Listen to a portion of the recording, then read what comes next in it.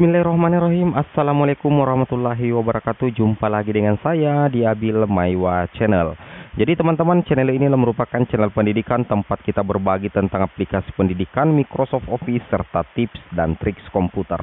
Jadi teman-teman di video kali ini Kembali lagi admin akan mengupdate informasi terbaru Terkait guru P3K di tahun 2021 Dan dikhususkan lagi tentang berita penting menjelang pengumuman hasil sangga terbaru guru P3K di tahap 1 atau pengumuman final tahap 1 untuk rekan-rekan guru honorer yang mengikuti seleksi P3K di tahap 1 yang mana sesuai jadwal itu diumumkan pada tanggal 29 Oktober tahun 2021 yaitu hari ini.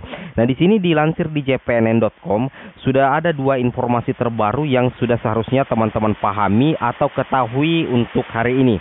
Dan sebelum admin memulai video ini, admin ingin menginformasikan bahwa cuaca saat ini tidak bersahabat, hujan deras sehingga suara admin tidak kedengaran dengan jelas.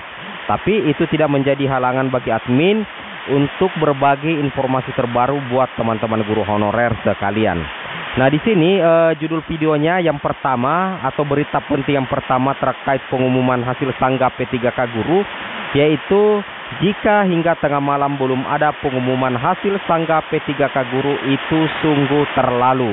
Nah, di sini teman-teman uh, dilansir di jpnn.com, Ketua Forum Guru Honorer bersertifikasi Sekolah Negeri FGHBSN Nasional Rizky Safari Rahmat mempertanyakan profesionalisme Kemendikbudristek dalam mengurus seleksi P3K Guru 2021 tahap 1 ini uh, ada alasannya teman-teman ya sehingga uh, Ketua Forum Guru Honorer FGH BSN mengatakan ini pasalnya hingga Jumat tanggal 29 bulan 10 pukul 17.45 waktu Indonesia Barat belum juga ada tanda-tanda pengumuman hasil sangga P3K Guru tahap 1 seperti itu teman-teman ya. Padahal eh, pada 28 Oktober Dirjen GTK Kemdikbudristek Bapak Iwan Syahril sudah mengumumkan bahwa pengumuman hasil Sangga P3K tahap 1 itu dilaksanakan 29 Oktober. Seperti itu teman-teman ya.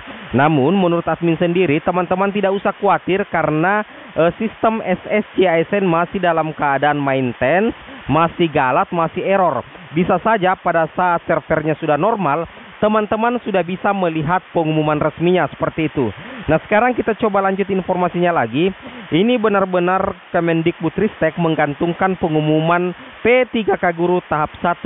Sudah tanggal 29 Oktober masih belum bisa dilihat hasilnya. Ini pernyataan Rizky kepada jpnn.com hari Jumat 29 bulan 10. Seperti itu teman-teman ya. Nah sekarang kita lanjut. E, beliau mengaku gemas dengan sikap pejabat Kemdikbudristek yang selalu tidak memberikan kepastian waktu dan kapan bisa mengaksesnya. Nah, ini sebenarnya yang jadi pertanyaan ya. Kalaupun misalkan ditunda, seharusnya ada pengumuman resminya agar teman-teman guru honorer itu tidak galau, tidak panik dalam menunggu pengumuman uh, hasil sanggap P3K tahap 1 ya yang dilaksanakan tanggal 29 Oktober ya atau yang akan diumumkan 29 Oktober sekaligus pengumuman resmi P3K tahap 1 seperti itu ya. Beliau membandingkan dengan pengumuman SKD CPNS dan P3K non guru. Badan Kepegawaian Negara BKN sepekan sebelumnya sudah mengeluarkan jadwal pengumuman hasil pada 29 sampai 30 Oktober. Sedangkan Kemdikbudristek mendadak menginformasikan hari pertama pengumuman seperti itu teman-teman ya. Ini dijelaskan di jpnn.com teman-teman ya berita yang admin baca. Di sini Kemdikbudristek sudah mempermainkan sebagian was-was karena tampilan SSCISN yang awalnya lulus prasangga jadi tidak ada keterangan lulus tuturnya. Ini yang membuat teman-teman guru banyak yang was-was.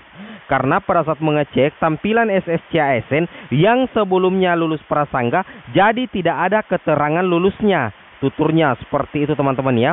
Beliau menambahkan guru honorer peserta seleksi P3K 2021 masih akan bersabar menunggu hingga 23 eh, pukul 23 59 waktu Indonesia Barat.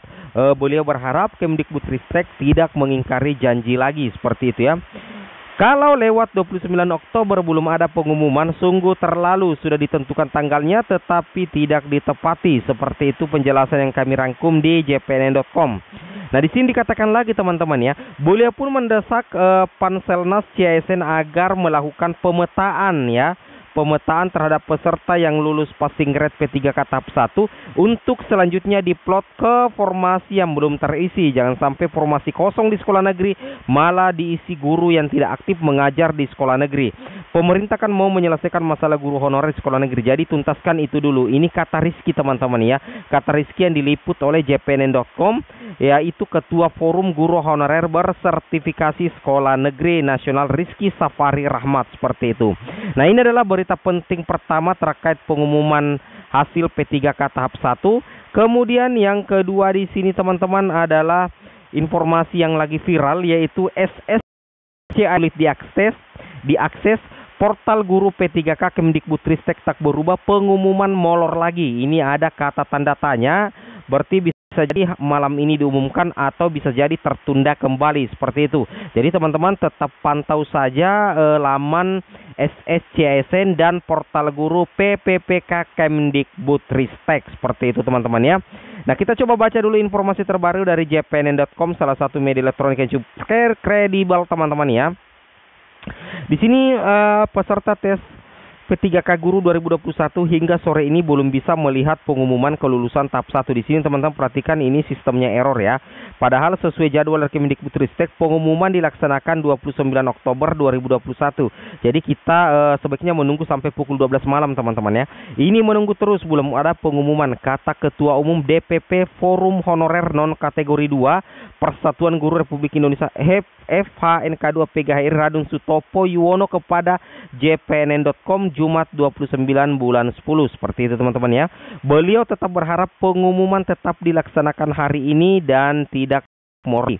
Apalagi guru-guru honorer yang tidak lulus nanti sudah harus menyiapkan diri mengikuti tes P tahap yang kedua.